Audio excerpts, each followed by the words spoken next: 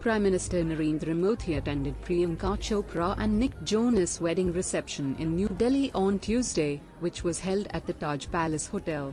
Priyanka and Nick got married in a two-part wedding ceremony in Jodhpur over the weekend. This is the first reception the couple are hosting. Priyanka and Nick also posed for a photo op at the venue. Priyanka looked resplendent in a silver lehenga while Nick complemented her in a black tuxedo. Priyanka accentuated her new bride look with matching jewelry. She wore her hair in a bun adorned with flowers. The couple were accompanied by their respective families on the stage.